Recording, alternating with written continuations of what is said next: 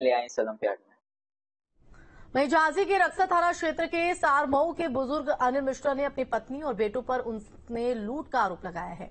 अनिल मिश्रा का कहना है कि गरीबी के चलते उसकी पत्नी और बच्चों ने 22 साल पहले घर से उन्हें निकाल दिया था, लेकिन जब अब उसे ज़मीन का 28 लाख मुआवजा मिला तो उसका परिवार पैसे लेने उसके पास पहुँच गया।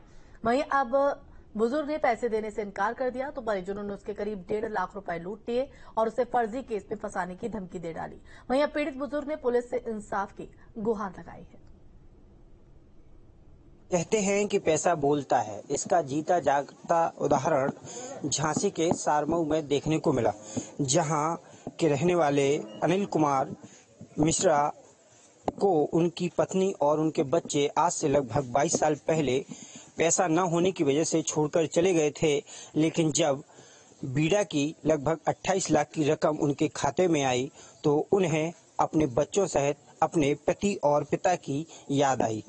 हमारे साथ में अनिल शर्मा जी मौजूद हैं। हम इनसे जानना चाहेंगे, क्या कुछ रही है इनकी कहानी? सब पत्नी के आचरण सही नहीं थे और मुझे ये आचरण पसंद नहीं थे। मैं मना करता था तो मुझे गाली गलौज करके और मेरे पास ना रहने के झूठे इल्ज़ाम लगा के यही कहती थी कि नहीं, हम तुम्हारे पास नहीं रहेंगे, हमको तो जहाँ मर्ज़ी पड़ेगी वहाँ रहेंगे। हमारे साथ तो साहब एक साल भी नहीं रही ढंग से। क्या सुना है आपकी पत्नी से विवाद हुआ पत्नी ने मुकदमा भी लिखाया और जेल भी पहुँचाया। हाँ जेल पहुँचाया मुझे मुकदमा लगा के मेरे दोनों पैर तोड़ के और मुझे जेल में डलवा दिया था। दो हज़ार छह में उन्होंने मुकदमा कायम कर दिया था जब इसे वो आ नहीं रही जाने। बीड़ा में आपकी कितनी ज़मीन गई है? बीड़ा में एक एकड़ ज़मीन गई है। कितना मुआवजा मिला है? अट्ठाईस लाख रुपए मिला था। अट्ठाईस लाख मिलने के कितने समय बाद आपका परिवार आपसे मिलने आया? अरे हम पैसा जैसा हमको मिला और दस ही दिन बाद उनको खबर लग गई वो तुरंत आ गए हमारे पास। अच्छा हाँ। क्या बोले फिर वो? जब बोले कि पैसा दो और आप हमको और जो कुछ संपत्ति और है वो दो और आप मंदिर पे रह रहे मंदिर पे रहो। थाने में आपने शिकायत की? हाँ सर मैंने शिकायत की थाने में।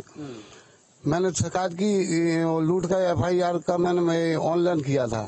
तो वहाँ पे ना तो यहाँ पे दरोगा जी आए हैं इंक्वायरी के लिए और मुझे उल्टा थाना बुला के और मेरा मुकदमा राजीनामा लिखा दिया। राजीनामा लिखा दिया। ये लिखा दिया है कि तुम ये लिख कि ना तो मेरी लूट हुई और ना मैं आगे कोई कानूनी कार्रवाई करूँगा। अच्छा। ये मुझ पर लिखवा लिया है। कितना पैसा छीन ले गए थे आपके परिवार वाले? हमारे परिवार वाले अभी छीन ले गए थे डेढ़ लाख और दूसरी बार में सत्रह हज़ार और कम से कम डेढ़ दो, दो लाख का। सब मुझे मार के फेंक देंगे वो ऐसे खतरनाक लोग हैं। अच्छा। बच्चे मेरे हाँ। जिस तरीके से देखा गया है, अनिल कुमार शर्मा जी ने बताया है कि जो परिवार 22 साल पहले उन्हें गरीबी की हालत में छोड़ के गया था, आज जब उनके पास पैसा आया तो वही परिवार अब पैसा हथियाने के लिए हर तरह से जद्दोजहद करने का प्रयास कर रहा है। कैमरा पर्सन अमित रावत के साथ रवि परिहार, न्यूज़ स्टेट, झांसी। नई दिल्ली में राजेंद्र नगर के आईएस कोचिंग सेंटर के बेसमेंट में पानी भरने